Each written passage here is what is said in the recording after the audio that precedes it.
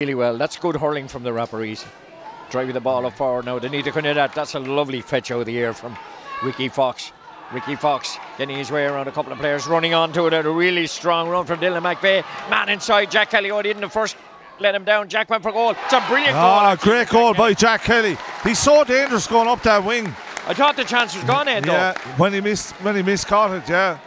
But Super Kevin, goal from Jack Kelly. Kevin Foley is controlling the game here as a, as a loose man back in the defence.